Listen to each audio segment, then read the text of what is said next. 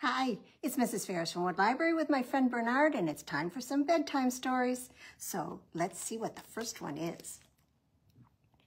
It's called Old MacDonald Had a Dragon. This is written by Ken Baker and illustrated by Christopher Santora. And the publisher is Amazon Children's Publishing. Well, old MacDonald had a farm E-I-E-I-O.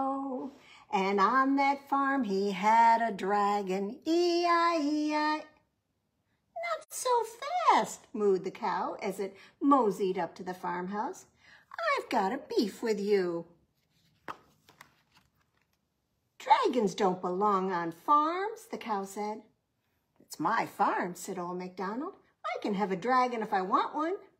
Well, either the dragon moves out or this moo moves on, mooed the cow. Well, faster than the farmer could sing E-I-E-I-O, why, the dragon swooped out of the sky and gulped down the cow and swallowed it whole. Delightful dairy, said the dragon, and with a lick of its lips and a flash of fire, it whipped its wings and flew away. The farmer frowned. Hmm, too bad, he said. I'll miss that cow, even if it was a bit bull-headed. Well, old MacDonald had a farm, E-I-E-I-O, and on that farm he had a pig, E-I-E-I-O, with an oink-oink here and a... Wait one mud stinking minute, oinked the pig. As long as there's a dragon on this farm, there'll be no more oink oink here or oink oink there. Adios, this hog is hitting the road.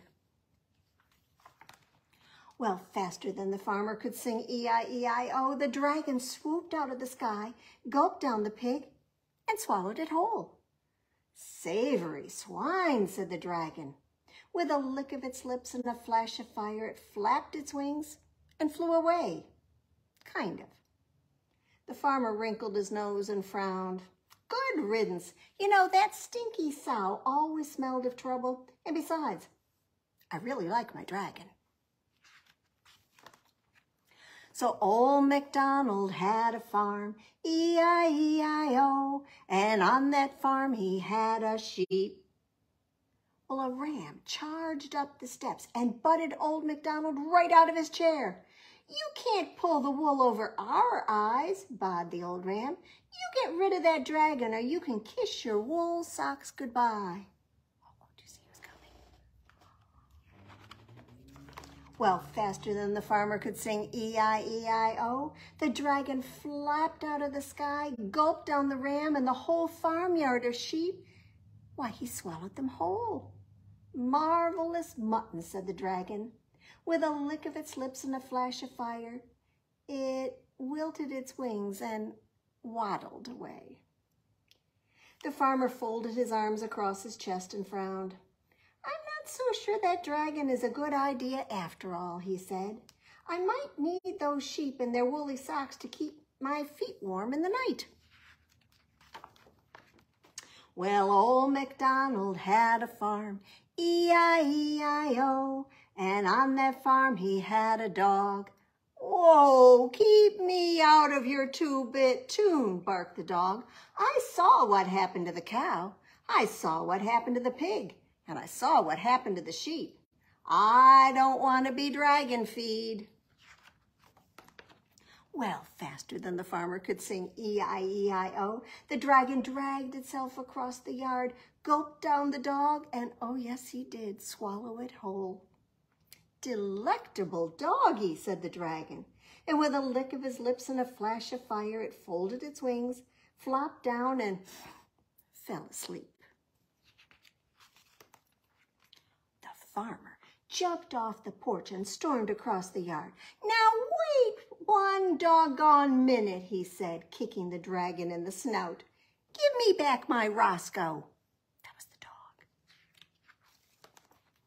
Faster than the farmer could sing E-I-E-I-O, the dragon stood, gulped down the farmer, and swallowed him whole. inside the dragon, why the farmer scratched his head and he smiled.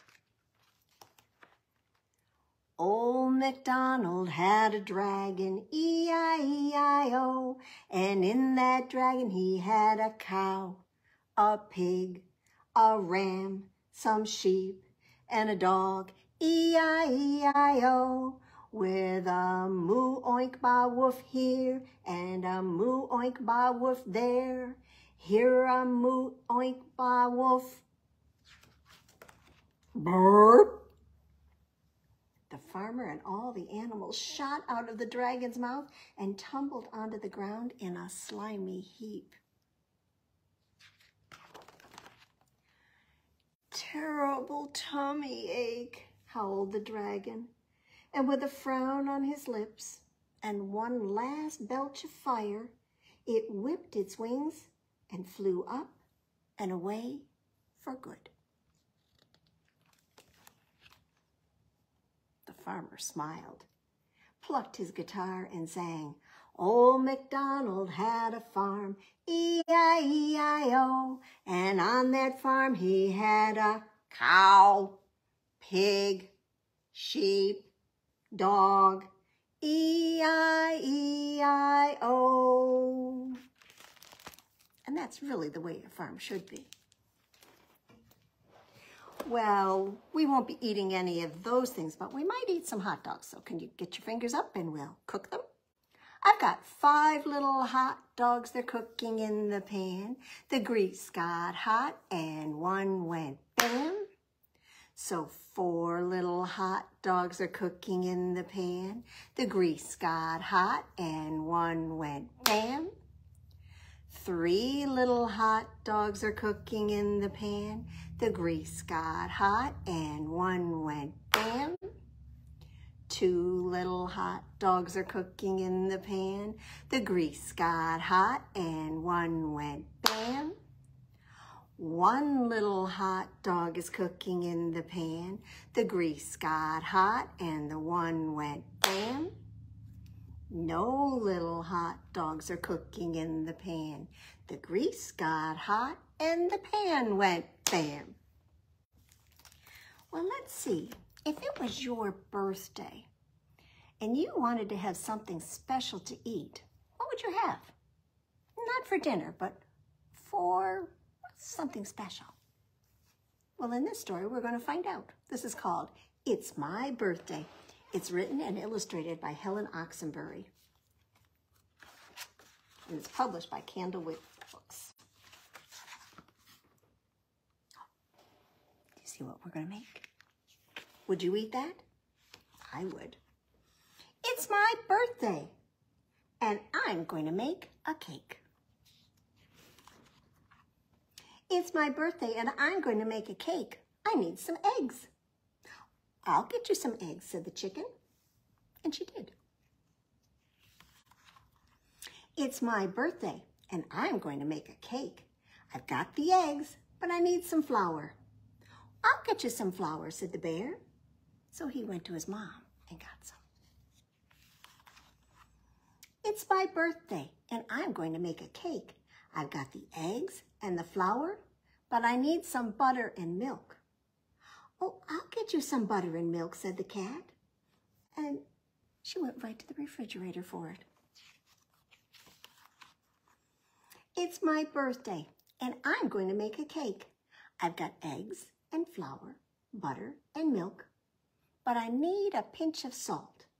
Oh, I'll get you a pinch of salt, said the pig. And he went and borrowed some from the beavers. They were having a picnic. It's my birthday and I'm going to make a cake. I've got eggs, flour, butter, milk, and a pinch of salt. But I need some sugar. I'll get you some sugar, said the dog. And he went to the store and bought some. It's my birthday and I'm going to make a cake. I've got eggs, flour, butter, milk, a pinch of salt, and sugar. But I need some cherries for the top. I'll get you some cherries for the top, said the monkey. And he went and picked some. It's my birthday, and I'm going to make a cake. I've got everything I need. We'll all help you make the cake, said the chicken, the bear, the cat, the pig, the dog, and the monkey. Thank you, everybody. Now, all of you can, what do you think?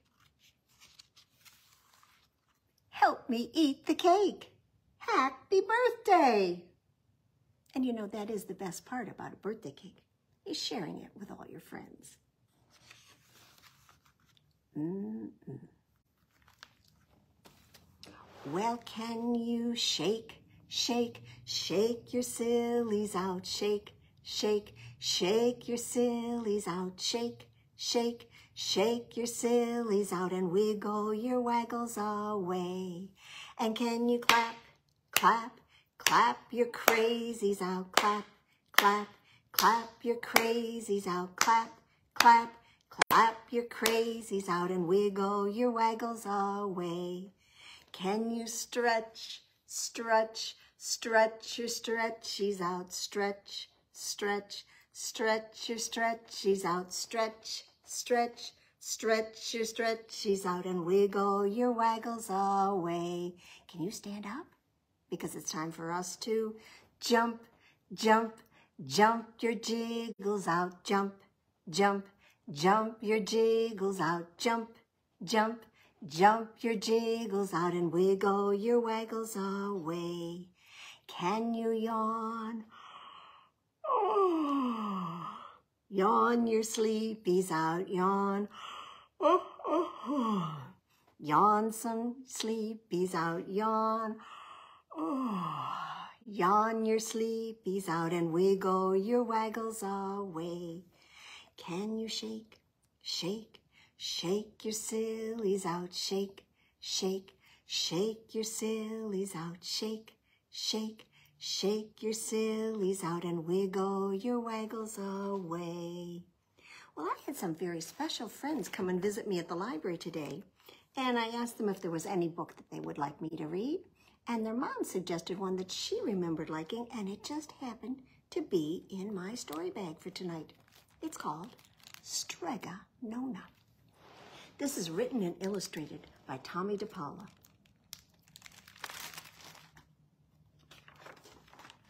And is published by Simon & Schuster Books for Young Readers.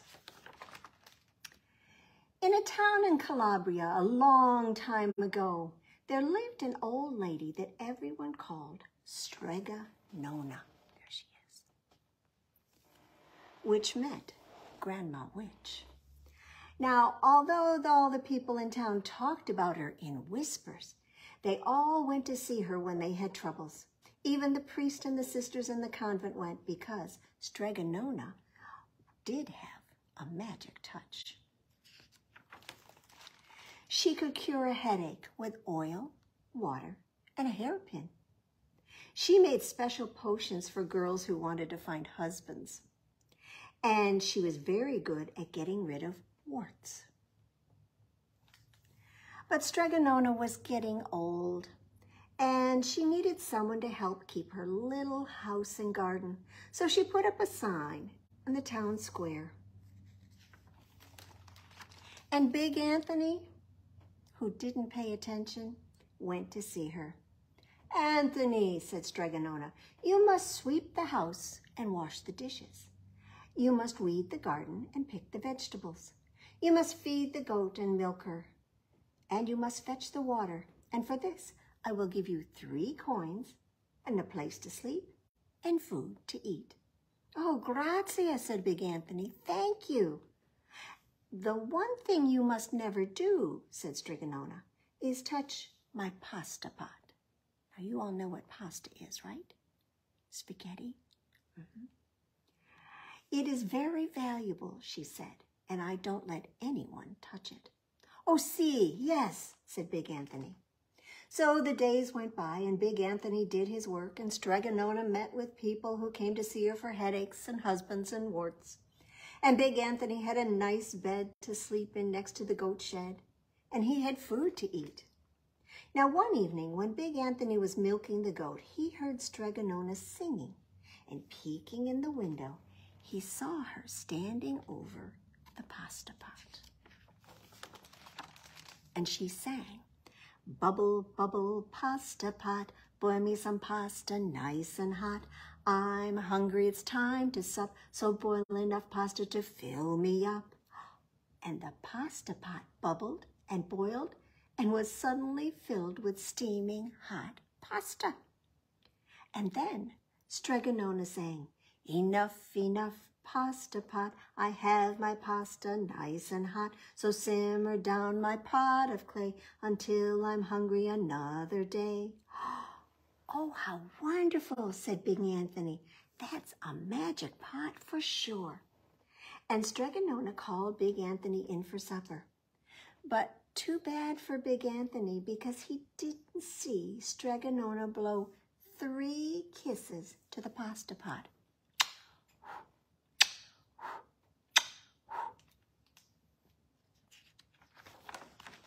And this is what happened. On the next day, when Big Anthony went to the town square to fetch the water, he told everyone about the pasta pot. And naturally, everyone laughed at him because it sounded so silly. A pot that cooked all by itself. You better go and confess to the priest, Big Anthony. Oh, such a lie, they said. Well, Big Anthony was angry, and that wasn't a very good thing to be. I'll show them, he said to himself. Someday I will get the pasta pot and make it cook, and then, then they'll be sorry. Well, that day came sooner than even Anthony would have thought, because two days later, Strega Nona said to Big Anthony, Anthony, I must go over the mountain to the next town to see my friend, Strega Amelia. Sweep the house and weed the garden. Feed the goat and milk her, and for your lunch there are some bread and cheese in the cupboard. And remember, don't touch my pasta pot. Oh, yes, yes, Strega Nona said Big Anthony, but he was thinking, my chance has come. And as soon as Strega Nona was out of sight, Big Anthony went inside and pulled the pasta pot off the shelf and put it on the floor. Now let's see if I can remember the words, said Big Anthony. And Big Anthony sang, Bubble, bubble, pasta pot, boil me some pasta nice and hot.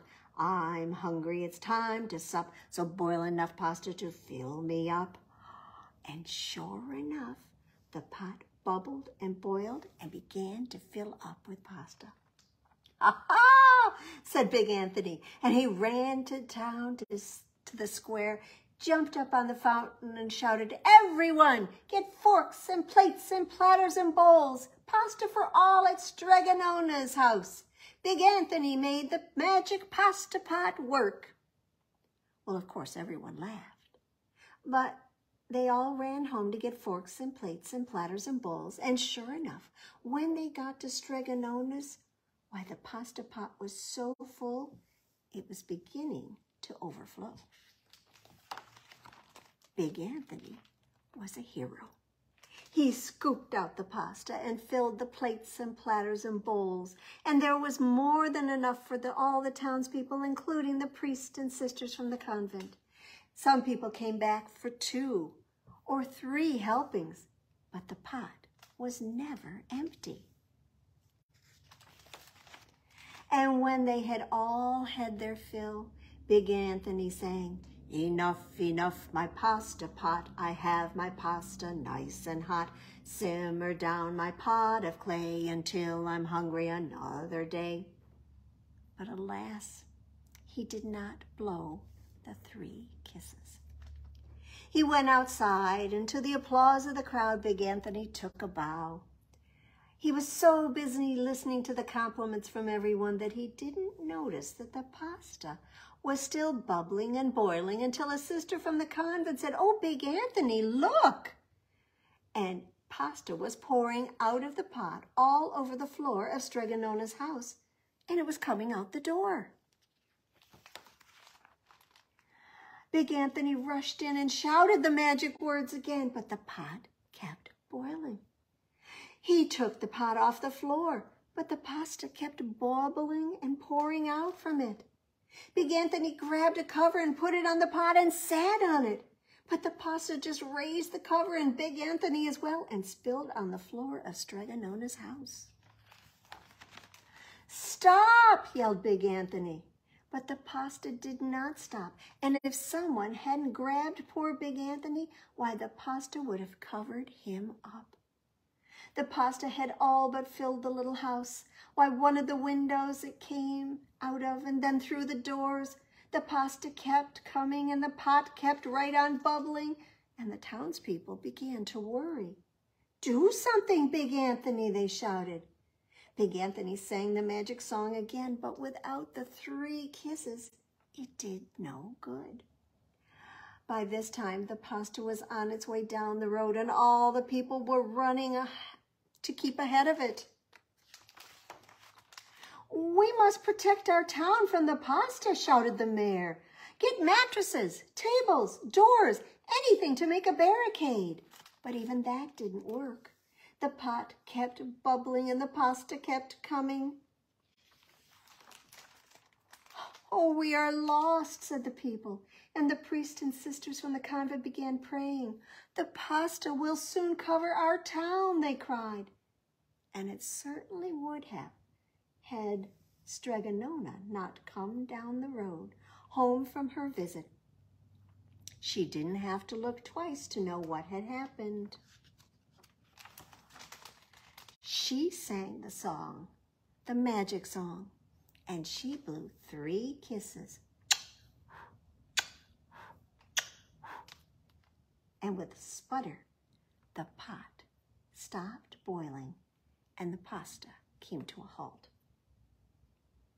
Then she turned around to poor big Anthony. The people in the town said, string him up. No, no, said Strega-Nona. The punishment must fit the crime. And she took a fork from a lady standing nearby and held it out to Big Anthony. All right, Anthony, she said. You wanted pasta from my magic pasta pot. Well, I want to sleep in my little bed tonight. So, start eating. And he did. Poor big Anthony.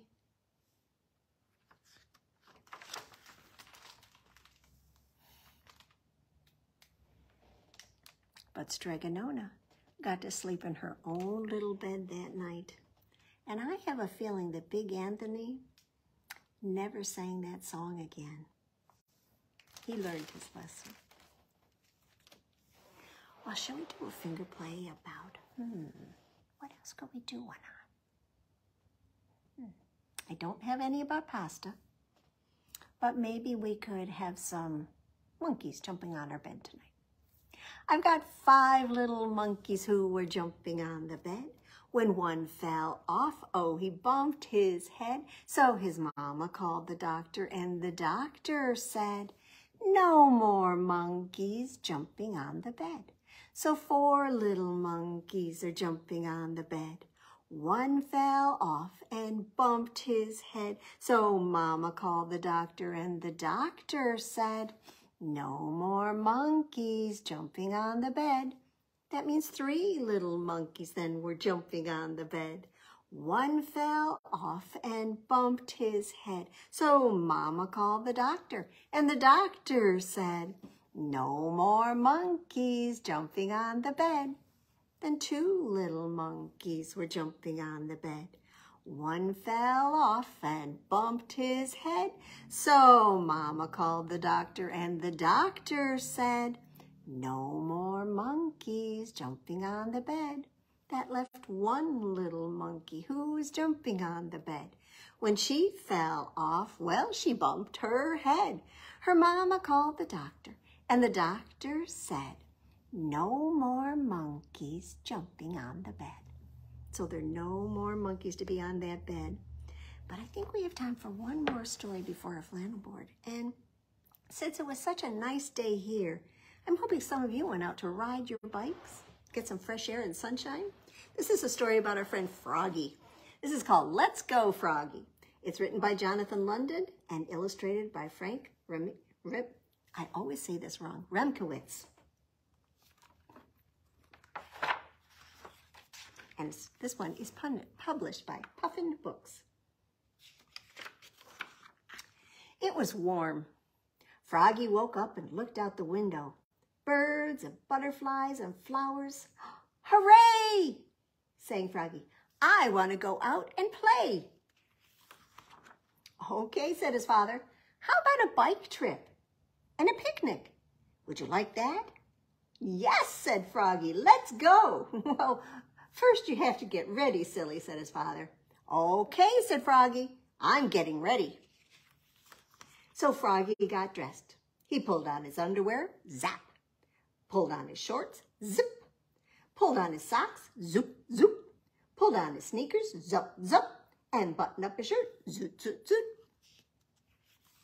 Froggy, called his father. Let's go. I'm ready, yelled Froggy, and he flopped out to show him. Flop, flop, flop. But Froggy, said his father, you need your bicycle helmet. Oh, I don't know where it is, said Froggy.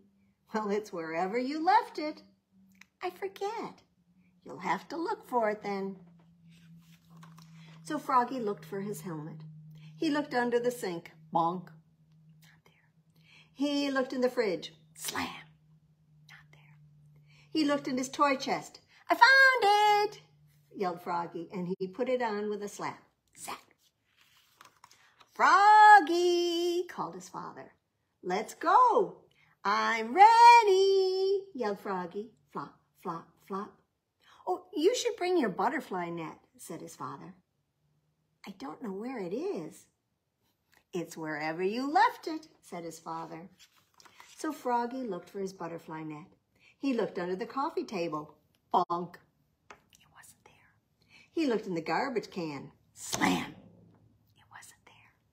He looked in his father's golf bag. Oh, yelled Froggy, and he swung it at a fly. Swish, but he missed. Froggy, called his father. Let's go. I'm ready, yelled Froggy. Flop, flop, flop. Well, how about the ball Grandpa gave you? asked his father. Can you guess what Froggy's going to say? I don't know where it is. Can you guess what his father's going to say? It's wherever you left it. So Froggy looked for his ball.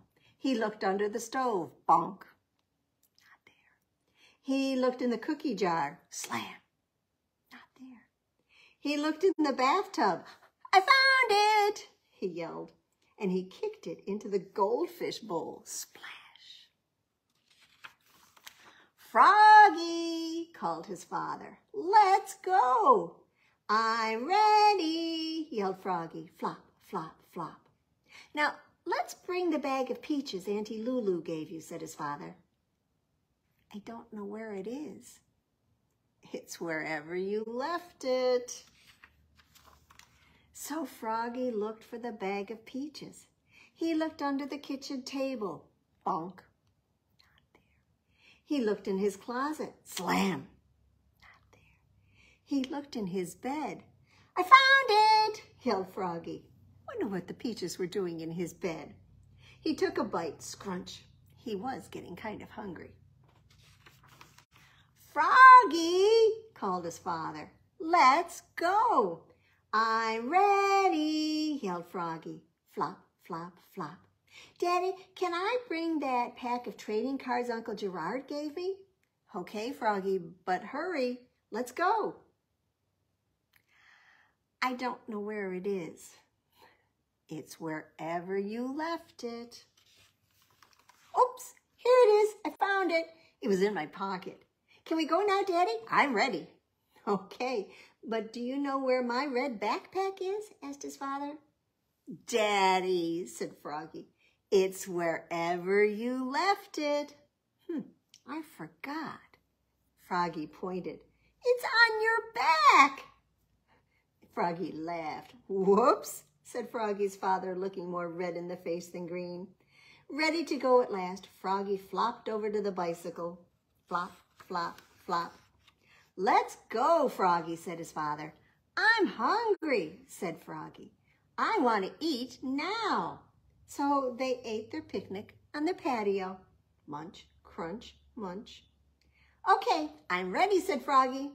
Let's go, said his father. And off they pedaled into the sunset. Whee! I didn't think they would ever get out there for their bike ride. Did you? Well, let's see if we can find some bubble gum before we have the flannel board story. So reach in your pocket and pull out your piece of pretend bubble gum. Take the wrapper off, toss that in the trash, and then pop the gum in your mouth, chew it up until it's all soft and squishy.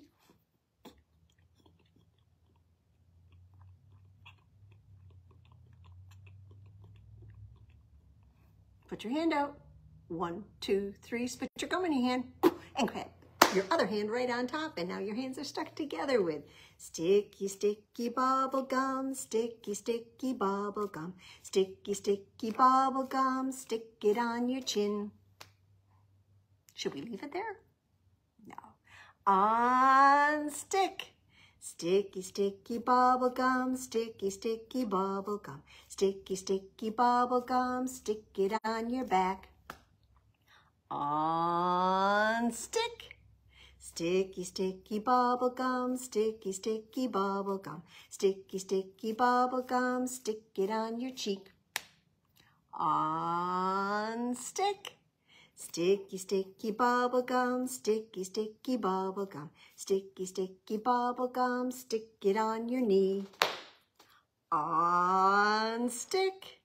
Sticky, sticky bubble gum, sticky, sticky bubble gum, sticky, sticky bubble gum, stick it on your hmm, nose. On stick. Sticky, sticky bubble gum, sticky, sticky bubble gum, sticky, sticky bubble gum, stick it on your arm. On stick. Sticky, sticky bubble gum, sticky, sticky bubble gum, sticky, sticky bubble gum, stick it on mom or dad or whoever's around. On stick. Sticky, sticky bubble gum, sticky, sticky bubble gum, sticky, sticky bubble gum, stick it on your toe. On stick. Sticky, sticky bubble gum, sticky, sticky bubble gum, sticky, sticky bubble gum. Time to throw it in the trash. So we started tonight with a song story about a very hungry dragon. And we're going to finish up tonight with a story song about a very hungry dragon on our flannel board. This is called There Was an Old Dragon Who Swallowed a Knight, and it's based on the book by Penny Klostermann, one of my favorites. Now there was an old dragon who swallowed a knight. I don't know why he swallowed the knight. It's not polite. There was an old dragon who swallowed a steed. They galloped around at a terrible speed. Oh, how the dragon wished it would stop, that clippity-clop, that clippity-clop. He swallowed the steed right after the knight, and I don't know why he swallowed the knight. It's not polite. There was an old dragon who swallowed a squire, who hollered, that's hot, when the dragon breathed fire. He swallowed the squire to calm the steed that galloped around at a terrible speed. He swallowed the steed right after the knight, and I don't know why he swallowed the knight. It's not polite. There was an old dragon who swallowed a cook, a savory cook, and his recipe book. He swallowed the cook to fatten the squire. He swallowed the squire to calm the steed that galloped around at a terrible speed. He swallowed the steed right after the knight, and I don't know why he swallowed the knight. It's not polite. There was an old dragon who swallowed a lady.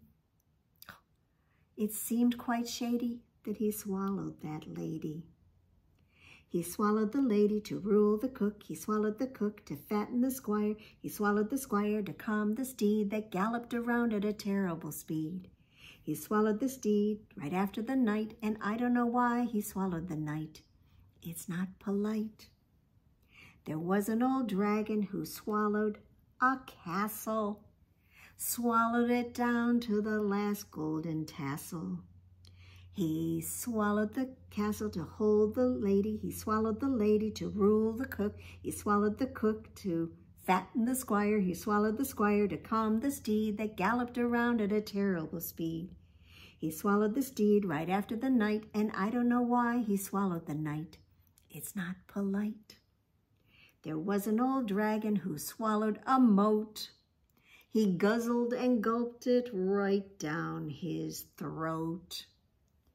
With all of that water, he started to bloat, and that's when the dragon roared, and I quote, Okay, enough, I've had enough, more than enough of this swallowing stuff. Hmm, maybe I've been a tad impolite. Perhaps I should only swallowed the knight. So he burped out the moat that caused him to bloat. He burped out the castle along with the tassel. He burped out the lady who found it quite shady. He burped out the cook and his recipe book. He burped out the squire blackened with fire. And then with all of the power he could amass, the dragon burped out one last billow of gas. Burp! And with a terrible speed, he burped out the steed that galloped around at a terrible speed. Clippity-clop, clippity-clop, clippity-clippity, clippity, stop! There was an old dragon who swallowed a knight. Ah, just right. Good night. All right, so let's finish up with our Sandra Boynton book for tonight. And we're going to be reading Jungle Night. This is published by Workman. It is midnight in the jungle. The moon will surely rise, and all the animals are sleeping with whisperings and sighs.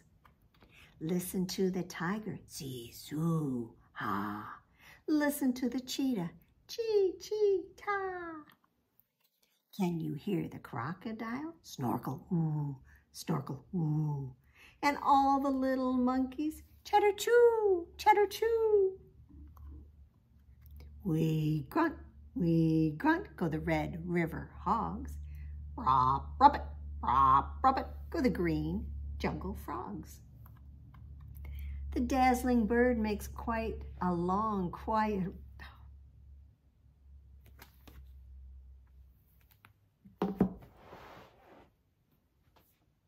That was fun.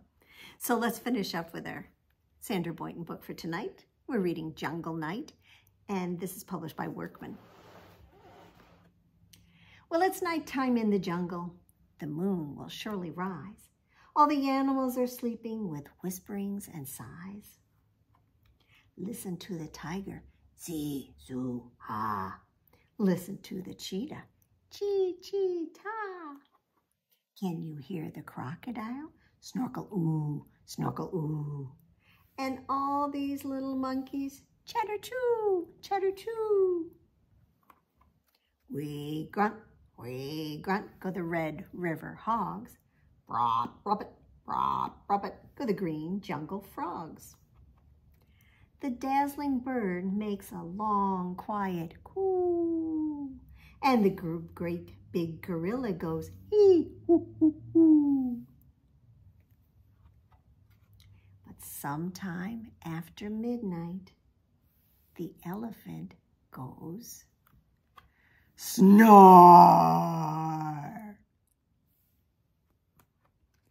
And whoever had been sleeping isn't sleeping anymore. Well, thank you for joining me and Bernard for some bedtime stories here from Wood Library, and we hope you'll join us again another time. Bye-bye.